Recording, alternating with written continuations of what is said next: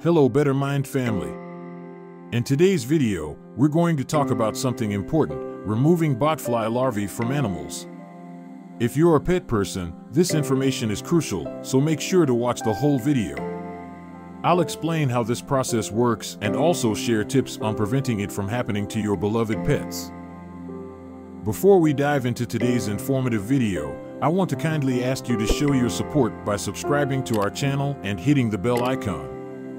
By doing so, you'll stay updated with more helpful videos just like this one. How does a botfly get into the pets? Botflies have a unique way of getting into pets. The adult botflies lay their eggs on the skin or hair of animals. When the eggs come into contact with warmth and moisture, such as the body heat and moisture on an animal's fur, they hatch into tiny larvae. These newly hatched larvae can attach themselves to the animal's skin or hair and then find a way to burrow inside. They may enter through natural openings like the animal's mouth, nose, or wounds, or they can use small openings in the skin, such as hair follicles or tiny cuts. Once inside, they start their journey beneath the animal's skin or within the hair follicles. It's important to note that pets can come into contact with botfly eggs or larvae in various environments. For example, if they spend time outdoors in areas where botflies are present, they might unknowingly encounter these parasites. Additionally, certain insects or vectors that carry botfly eggs can also transfer them to animals. To minimize the risk of pets getting botfly larvae, it's a good practice to keep them away from areas where botflies are prevalent, maintain proper hygiene, and regularly check their fur and skin for any signs of infestation. Your veterinarian can provide specific guidance on preventive measures based on your pet's specific needs and living environment.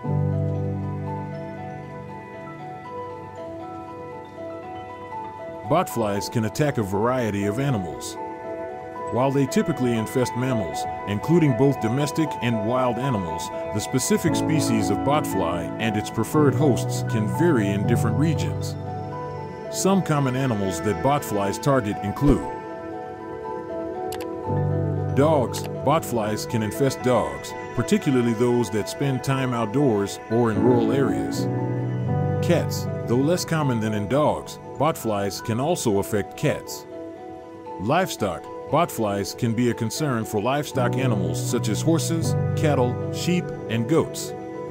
Rabbits, domestic rabbits, and wild rabbits are susceptible to botfly infestations.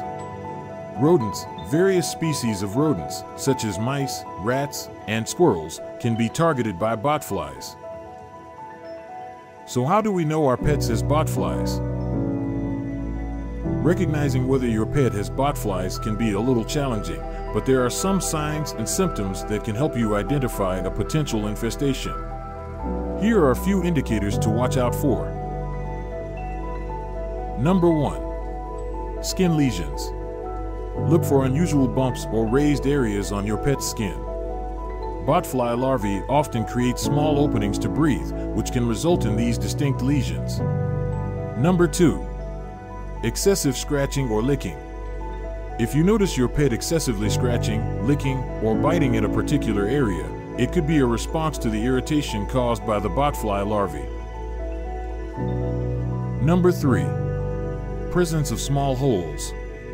Keep an eye out for tiny holes or puncture marks on your pet's skin. These can be an indication that the botfly larvae have entered the skin. Number 4. Swelling or discomfort. Botfly infestations can cause localized swelling and discomfort in the affected area. You may notice your pet exhibiting signs of pain or tenderness. Number 5. Behavioral changes. In some cases, pets with botfly infestations may display behavioral changes. They might become more irritable, restless, or exhibit signs of discomfort. If you observe any of these signs or suspect that your pet may have botfly larvae, it is essential to seek veterinary care promptly.